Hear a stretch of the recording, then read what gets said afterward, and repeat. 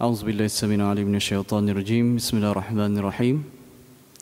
الحمد لله الذي وكفى والصلاة وسلاما على سيد المصطفى وعلى آله وصحبه أجمعين ومن وفى. أشهد أن لا إله إلا الله وأشهد أن محمدا عبده ورسوله. اللهم اجعلنا من الذين يستمعون القول فيتبعون أحسنه. يا رب العالمين. سبحانك لا علم لنا إلا ما علمتنا إنك أنت العليم الحكيم وسبحانك لا علم لنا إلا ما فهمتنا إنك أنت الجواب الكريم وقال رب اشرح لي صدري ويسر لي أمري واهلل عقدة من لساني يفقهوا قولي أما بعد Tuan-tuan dan puan-puan muslimin muslimat yang dirahmati Allah Subhanahu wa taala. Saya mulakan dengan lafaz yang mulia Assalamualaikum warahmatullahi taala wabarakatuh. Jadi uh, seperti mana yang kita seperti mana yang telah saya maklumkan kita akan uh, uh, merujuk satu potong ayat Allah Subhanahu wa taala. Jadi bagi mereka yang uh, belum ada al-Quran ataupun uh, boleh menggunakan telefon yang mempunyai apps di dalamnya, apps Al-Quran, boleh buka muka surat 539. 539 539 surah Al-Hadid ayat yang ke-16.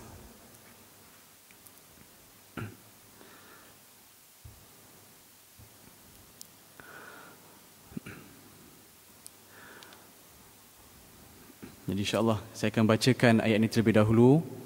Kemudian kita akan tadabur ayat ini uh, dengan menggunakan kitab ini sebagai rujukan dan juga uh, panduan kita pada malam ini insyaAllah.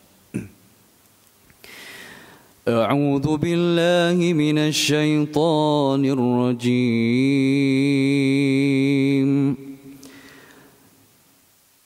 ألم يأن للذين آمنوا أن تخشع قلوبهم لذكر الله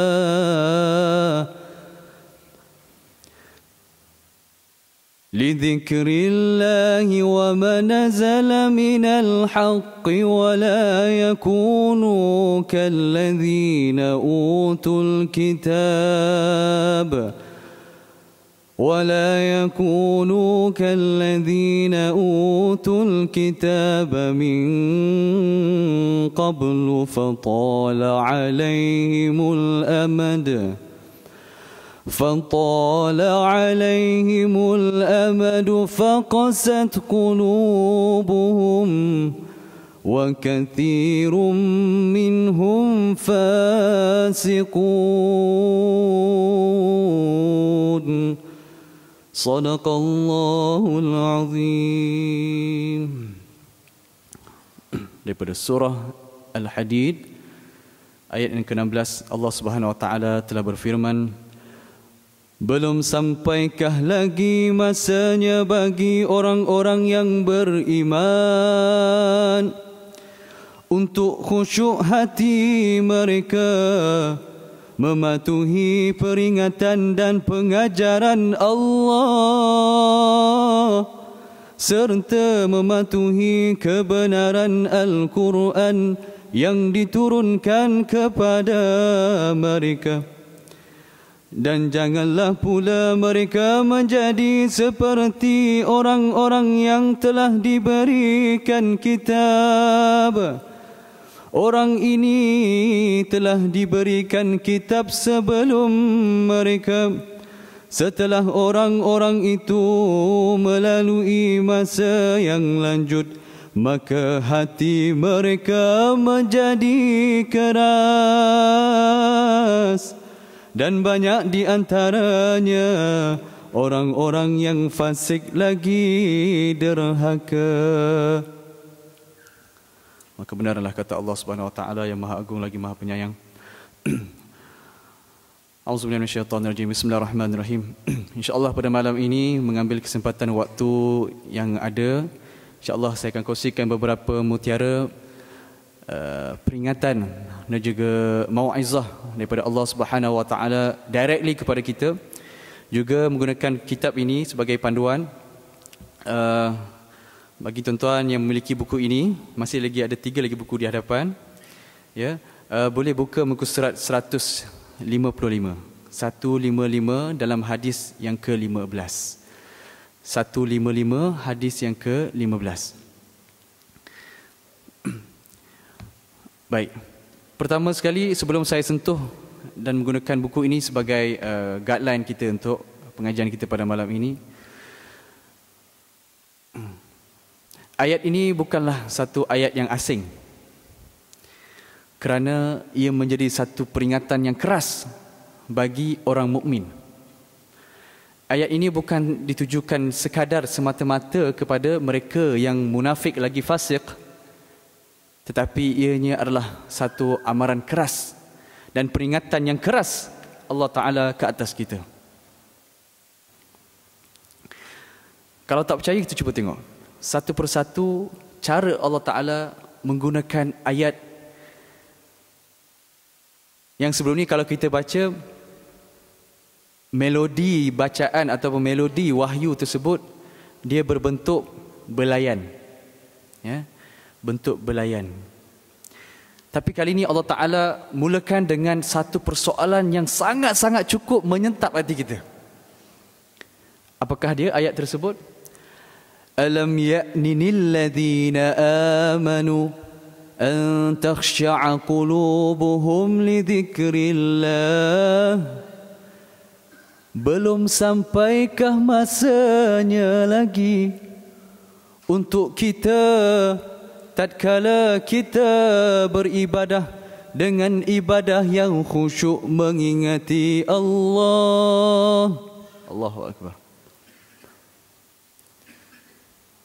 Bayangkan seorang ayah yang dah lama cuba nak bentuk nak nak shapekan balik, nak bentukkan balik uh, akhlak anak-anak yang mungkin kadang-kali diuji ya benar al-Quran telah pun menyebut isteri anak-anak harta dan sebagainya adalah ujian.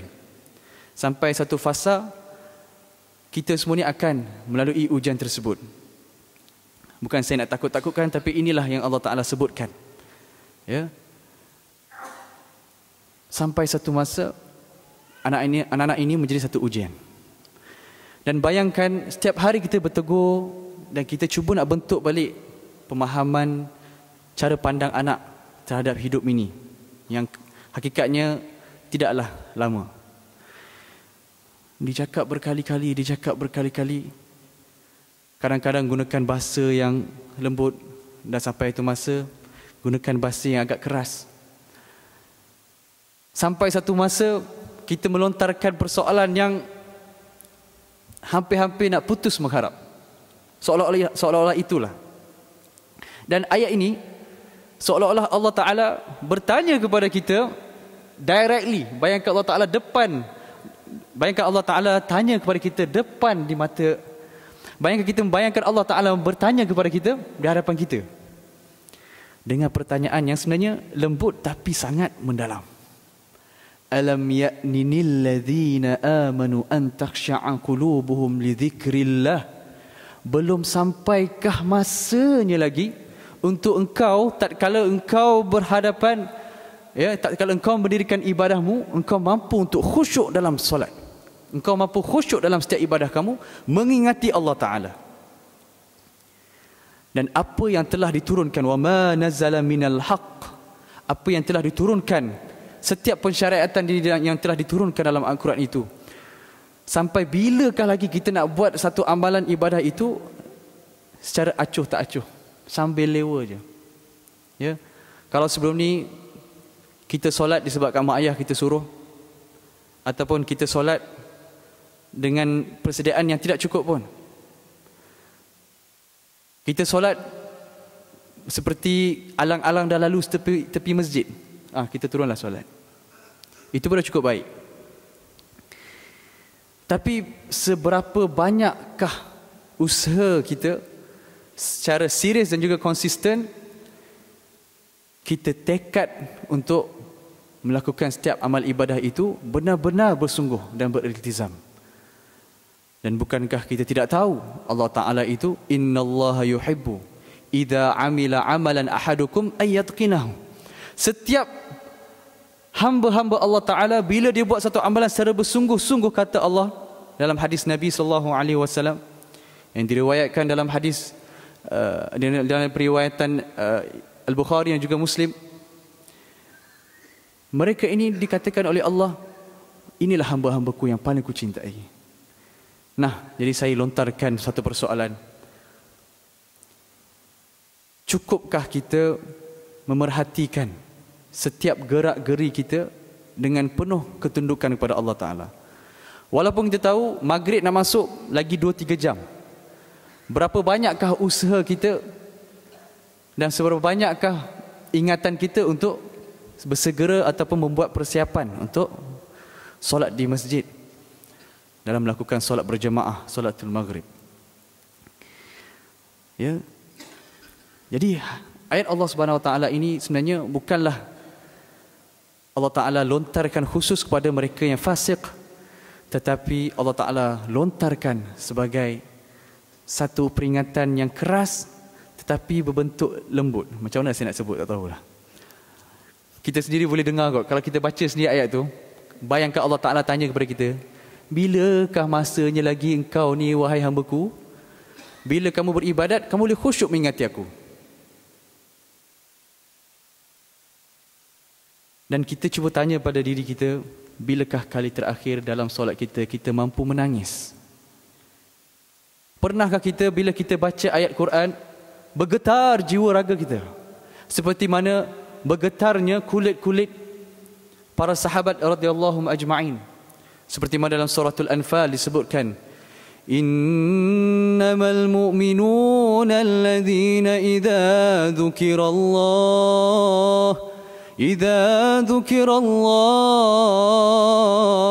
إذا ذكر الله وجلت قلوبهم وإذا تليت عليهم آياته زادتهم إيمانا وعلى ربهم يتوكلون الله أكبر Said Qutub dalam tafsir Fizilal menyebutkan ketika mana ayat ini dibacakan benar-benar sahabat merasai seolah-olah al-Quran itu walaupun hakikatnya diturunkan ke atas nabi untuk kita tetapi mereka rasa al-Quran itu turun tepat kepada mereka. Sehingga kan ada beberapa periwayatan sahabat seorang demi seorang bila dia mereka solat mereka mampu tumbang. Tumbang bukan sebab penat berdiri tapi pengsan kerana takutkan ayat-ayat Allah Subhanahu Wa Taala.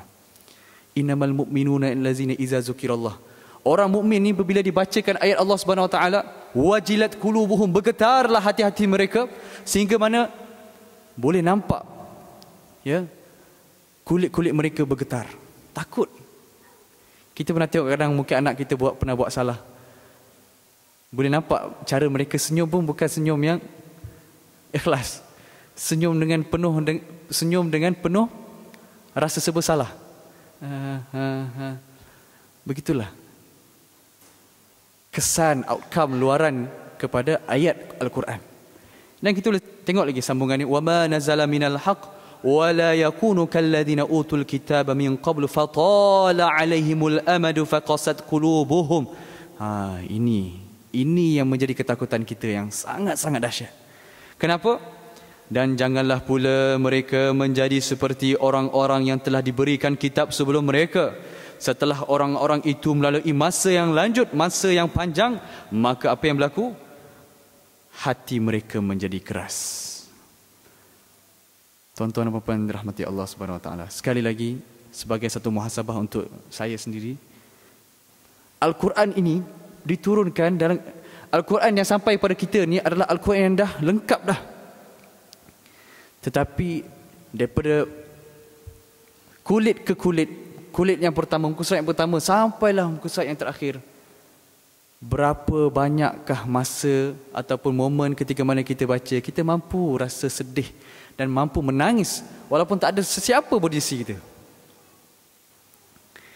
Ha. Jadi Allah Ta'ala sebut, dulu ada satu kaum, satu bangsa yang mereka ini diberikan Alkitab Kitab apa tu? Taurat. Siapakah golongan-golongan ini? Bani Israel. Mereka ini telah diangkat sebagai satu golongan, satu kaum yang mulia. Mereka ada satu salah silah para al-anbiya. Ya. Salah silah anbiya yang sangat panjang. Tetapi kerana keangkuhan mereka dari masa ke semasa dan mereka melupakan dan mereka mula menjauhkan diri mereka dengan Alkitab iaitu Taurat. Dan Allah Taala menyifatkan mereka dan janganlah pula mereka menjadi seperti orang-orang yang telah diberikan kitab sebelum mereka. Setelah orang-orang itu melalui masa yang panjang maka mulalah keras hati mereka. Maksudnya apa? Mereka meninggalkan kitab yang telah Allah berikan kepada mereka. Nah, saya ingin bertanya, bilakah kali terakhir kita memegang mashaf Al-Quran? Kemudian kita membacanya, walaupun kesibukan yang teramat sangat, kita membacanya dengan pemahaman. Kita membacanya dengan tadabur. Bilakah kali terakhir? Dan persoalan ini bukanlah persoalan daripada saya, tetapi persoalan daripada Allah Subhanahu wa taala pada awal ayat tadi alam ya'ninil ladzina amanu an takhsha'a qulubuhum li dzikrillah bilakah masanya lagi hamba-hambaku ini bila dia beribadah dia mengingati Allah dengan perasaan yang sangat-sangat khusyuk? Allahu akbar. Jadi daripada ayat ini saya ingin bawakan satu kisah. Oh ya sebelum kita tutup dan masuk pada kisah tersebut di akhir ayat tersebut Allah Taala tutup dengan dan banyak di antara orang-orang yang fasik lagi derhaka. Ha. Al-Quran ini selain dia menjadi satu petunjuk, dia juga menjadi satu KPI. Ya. Key apa performance index. Nak tengok sejauh manakah pencapaian hamba dia tengok pada Al-Quran. Sampai ke tak sampai? Apa yang Allah Ta'ala letakkan garis minimal, garis, garis minima, sampai ke tak sampai kita kepada garis minima. Dalam Al-Quran, apa yang Allah Ta'ala suruh? Banyak sangat ke Allah Ta'ala suruh? Sekurang-kurangnya, ulama ulama ulama fiqah dan juga ulama akidah meletakkan setidak-tidaknya kita kena buat lima benda je dalam hidup ni. Ya. Yang pertama apa? Solat lima waktu. Yang kedua apa? Berpuasa di bulan Ramadan. Yang ketiga apa? Bayar zakat. Eh? Zakat fitrah. Yang keempat melakukan haji. Dan semua itu terangkum dengan kalimah La ilaha illallah Muhammad Rasulullah. Itu benda yang wajib yang kita kena buat. Yalah, betul lah. Ustaz, lima benda wajib tapi banyak juga benda haram. Yalah, yang haram tu pun banyak sangat ke benda haram? Ada mereka yang mendakwa Islam ini sangat-sangat syadid. Islam ini Islam ini sangat-sangat tertutup. Agama yang sangat tertutup. Mereka tidak membenarkan minum arak. Kita jawab balik. Kita ada macam-macam jenis air. Satu je tak boleh minum. Apa masalahnya? Satu je tak boleh minum.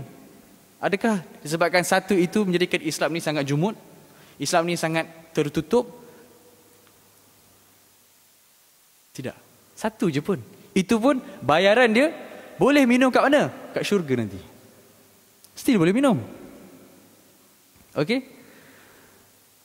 Jadi KPI kita untuk kita sentiasa muhasabah seperti mana Sayyidina Umar radhiyallahu anhu menyebut hasibu anfusakum qabla an tuhasabu. Hisablah diri kamu sebelum kamu dihisapkan. Nak tengok macam mana tahapan kita? Tengok al-Quran.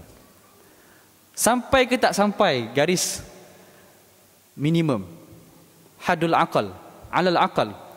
Seminima nima seminima nima buat bunyi lain. Yang paling minimum yang kita kena buat.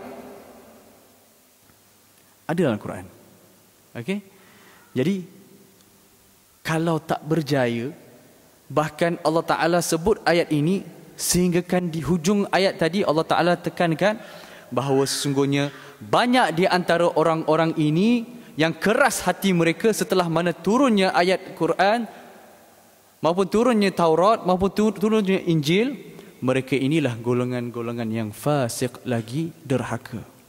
Apakah itu golongan yang fasik mereka yang terus menerus melakukan dosa kecil bila dah jadi orang kata sikit-sikit lama-lama jadi bukit ha tu menabung ni pun menabung bank akhirat juga buat benda yang tak baik akhirnya menjadi satu fasik sampaikan Allah taala cela golongan ini Allahu akbar jadi ada satu kisah yang ingin saya bawakan kepada tuan-tuan dan puan berdasarkan ayat Al-Quran ini. Kemudian insya-Allah saya akan tutup berdasarkan kitab yang uh, saya keluarkan. Ya. Pertama, kisah ini berlaku pada zaman tabi'in. Seorang pemuda yang bernama Utbah Ghulam.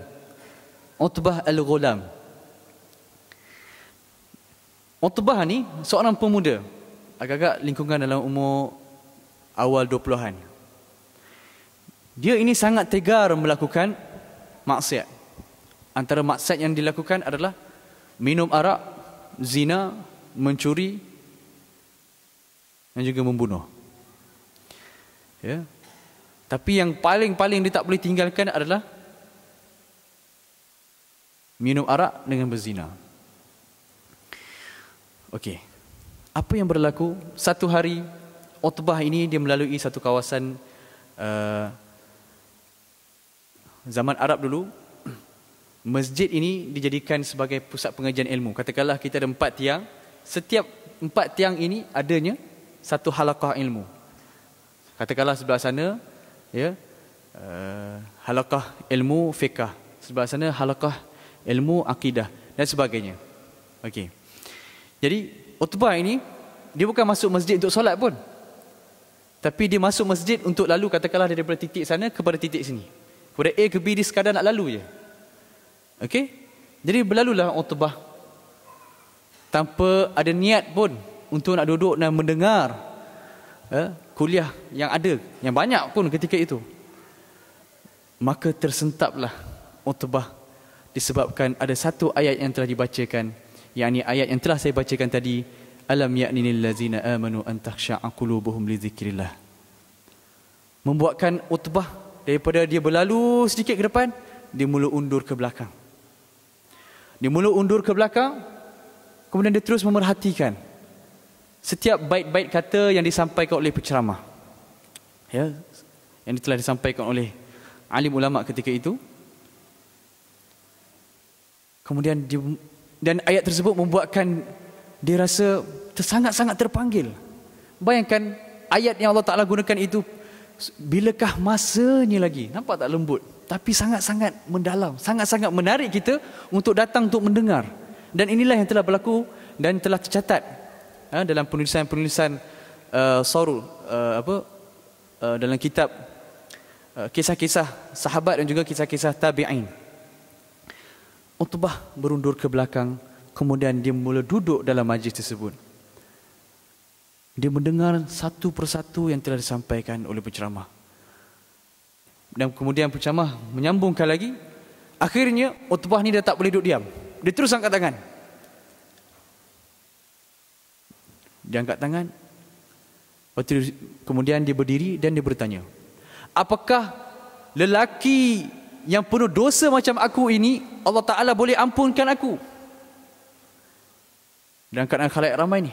Semua pun ter, terkejut dengan soalan tersebut. Siapa pula hamba Allah ni pun tak pernah tengok. Utbah bertanya dengan bersungguh-sungguh apakah aku ini pemuda seperti aku ini yang banyak dosanya Allah Ta'ala boleh ampunkan dosa aku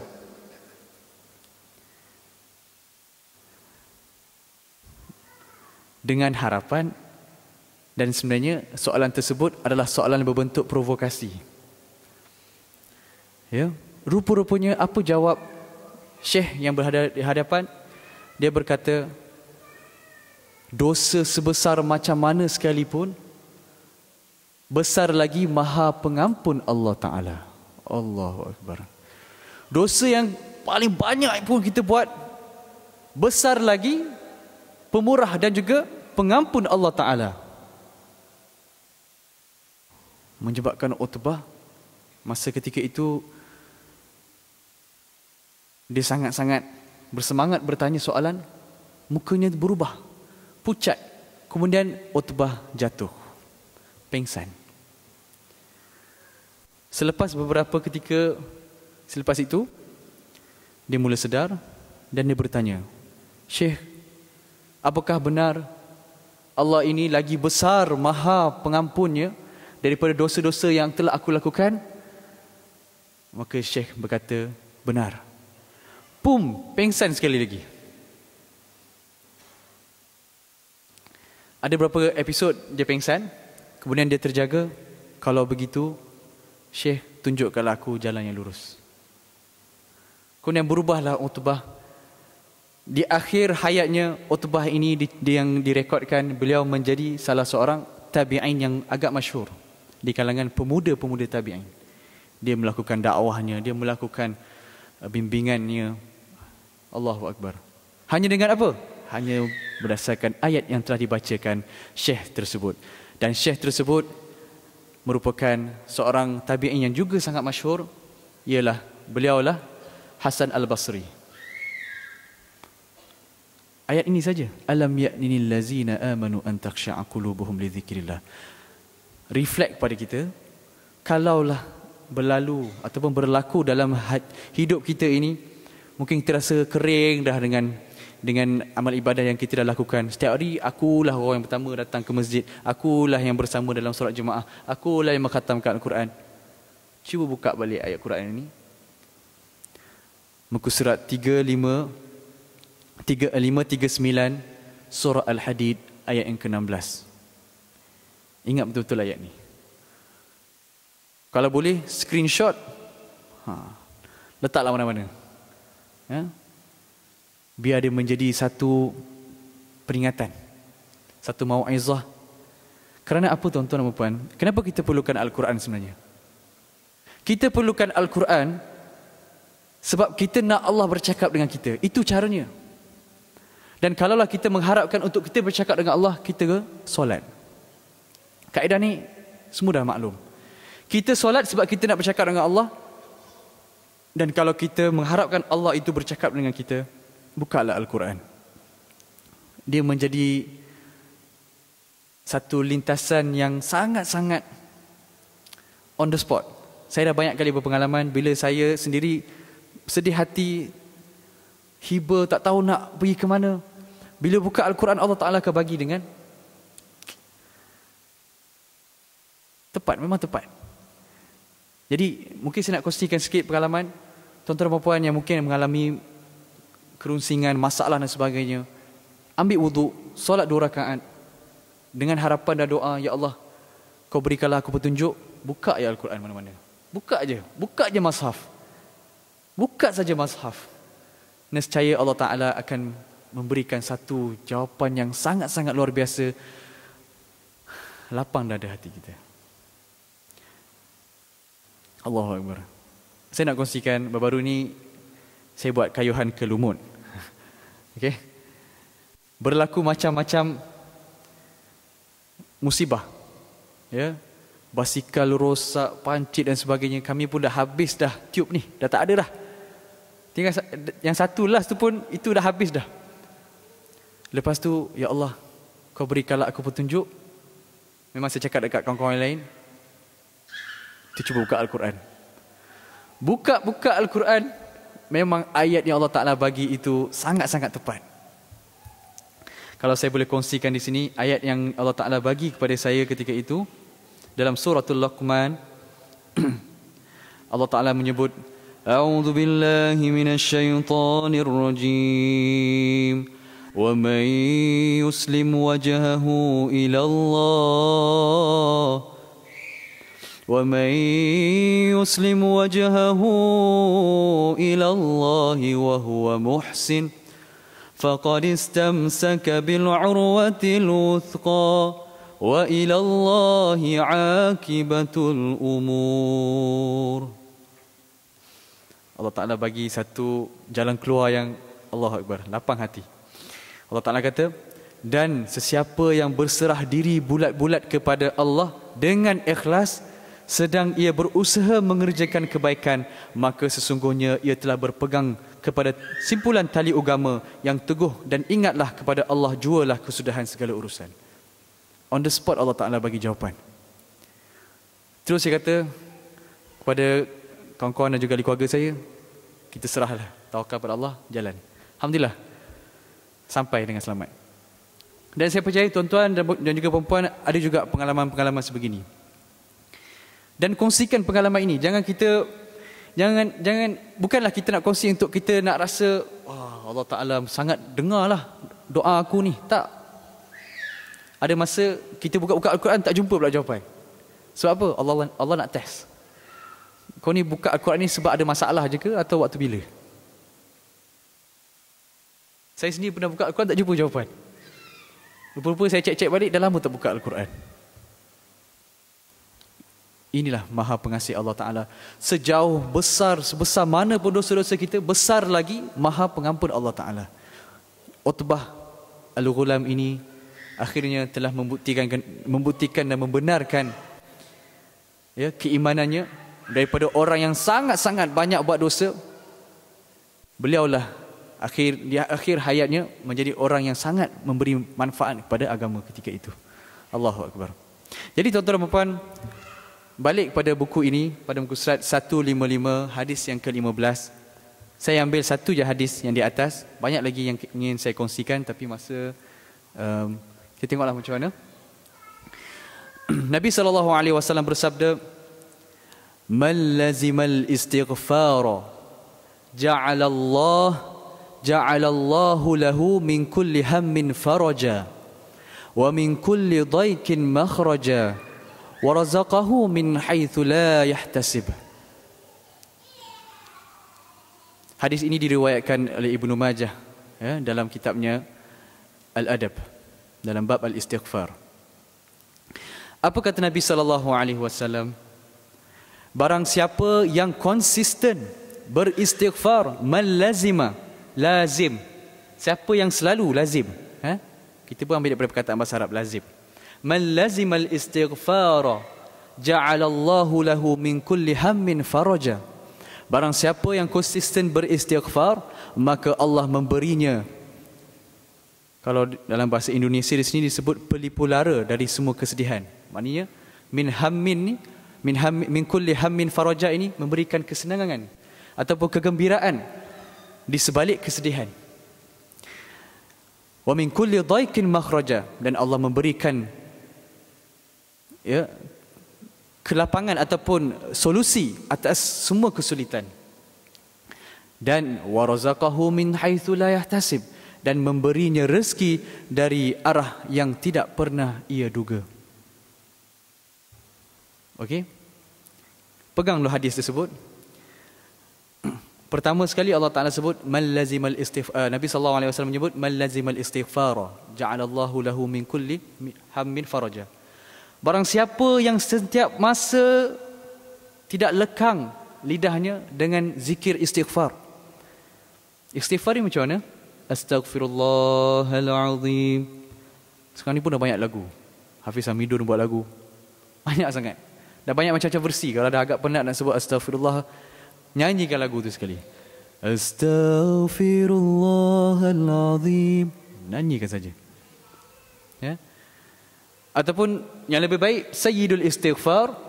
Allahumma anta rabbi la ilaha illa anta khalaqtani wa ana 'abduka wa ana 'ala 'ahdika wa wa'dika mastata'tu ila akhir. Ini semua bentuk-bentuk istighfar. Yang pada setiap kalimah yang kita keluarkan istighfar yang kita luahkan Allah Taala kata ada tiga kesan natijahnya. Yang pertama, setiap kesedihan akan diubati dengan kegembiraan. Dengan ketenangan. Min kulli hamin faraja. Wa min kulli daikin makhraja. Dan setiap kesulitan, kesempitan juga Allah Ta'ala akan gantikan dengan kelapangan. Dan juga yang terakhir, وَرَزَقَهُ مِنْ حَيْثُ لَا يَحْتَسِبُ dan Nabi sallallahu alaihi wasallam memberi jaminan akan Allah Ta'ala memberikan rezeki kepada mereka dalam keadaan yang tidak sangka-sangka. Macam mana rezeki yang tak sangka-sangka ni tuan-tuan dan puan? Pastinya setiap tuan-tuan dan puan mungkin ada pengalaman ya menghadapi episod duka dalam kehidupan. Nak beli makanan, nak beli sarapan tak cukup duit. Eh, nak beli pampers untuk anak pun tak cukup. Cek poket sini tak ada, poket sini tak ada, poket sini tak ada. Pernah tak tiba-tiba tengah nak bawa keluar, bawa keluar, bawa keluar duit tu? Rumah kata, bang, ni duit siapa jatuh ni? Eh, ini duit abang lah ni, RM50 yang dulunya. Boleh pula diklaim dia punya. Tapi, pernah tak? Mesti ada satu pengalaman macam tu. Lagi kita yang sama-sama student ni dululah. Ha? nak call mak ayah nak suruh kirimkan duit segan juga. Setiap minggu buat benda cara yang sama. Ada je rezeki yang Allah Ta'ala bagi. Tapi macam mana cara dia? Kita nak dapatkan rezeki yang tak disangka-sangka. Warazaqahu min haitsu la yahtasib. Daripada lisan yang menuturkan kalimah istighfar. Berat ke nak cakap istighfar ya Allah kita ni duduk duduk kita ni tak tahu nak buat apa. Istighfar je tuan-tuan dan puan. Istighfar saja. Saya dulu masa saya di Mesir saya ada kenal seorang uh, pemandu bas di Kairo. Dengan keadaan kehidupan yang sangat sempit di Mesir apa yang berlaku? Orang yang saya kenal ini adalah jiran saya. Dia ada dua PhD pagi dia bekerja sebagai doktor ya di hospital kerajaan. Malam dia bawa teksi. Saya kata saya tanya uh, kepada dia. Tuan, tuan dah ada dua PhD. Kenapa malam masih lagi bekerja? Bawa teksi pula tu. Kita bukan memperlekehkan kerja teksi tapi rasa terkejut dengan dengan apa yang dia lakukan. Dia kata, betul rezeki ni dia datang disebabkan asbab. Tetapi bila aku bawa teksi, aku ada banyak masa di atas kereta dan masa itulah aku akan banyak berzikir dengan zikir istighfar. Allahu akbar. Ini pemahaman mereka. Dan betul, tidak ada salahnya bahkan sangat-sangat benar. Saya sangat bersetuju dengan kaedah itu. Kita ni sibuk macam mana sekalipun sempat kita untuk makan betul? Sibuk sekali macam mana pun kita sempat juga untuk nak balas WhatsApp dan sebagainya. Okay? So sebenarnya tak ada istilah, tak ada masa. Mesti ada masa. Ada juga yang pernah bertanya, Ustaz, saya ni tak pernah ada masa untuk nak buka Al-Quran sekalipun. Saya kata, sebelum kamu sibuk dengan urusan dunia, sibukkanlah urusan kamu dengan Al-Quran terlebih dahulu. Buka-buka mata lepas dah solat subuh tu, baca Al-Quran dulu. Lepas tu, kalau kamu baca Al-Quran time kamu sibuk, memang sah. Ha. Jadi, ia bermula dengan pagi kamu. Okey. Pagi yang baik kata Nabi sallallahu alaihi wasallam, Allahumma burika li ummati fi bukuriha. Ya Allah, kau berkatilah umat aku di pagi harinya kerana di pagi hari itulah adanya keberkatan. Mulakan pagi dengan amal ibadah yang benar-benar tulus. Kita je dengan Allah masa tu. Jadi apabila setiap masa kita pula dengan istighfar, Allahu akbar pastinya kesempitan yang kita lalui setiap hari, pastinya kesedihan yang kita hadapi setiap hari, kemurungan yang kita hadapi yang dah bertahun lamanya, Allah Ta'ala akan memberikan satu jawapan yang pasti dengan kelapangan. Wallahu Ta'ala alam. Itu saja untuk pada malam ini. Mudah-mudahan Allah Ta'ala sentiasa membimbing hati kita dan jadikanlah ayat yang saya bacakan ya, pada muka surat 539 dalam surah Al-Hadid ayat yang ke-16 itu sebagai satu guideline dan juga KPI dan juga satu bimbingan untuk kita bersama mudah-mudahan uh, pertemuan kita pada pada pada malam ini diberkati dan juga dirahmati. Jadi kita tutup dengan tasbih kifarah nasratul an subhanakallahumma bihamdika asyhadu an la ilaha illa anta astaghfiruka wa atubu ilaik wa al-asina salafi khusrin ila zina amanu sallallahu alaihi. Assalamualaikum warahmatullahi wabarakatuh.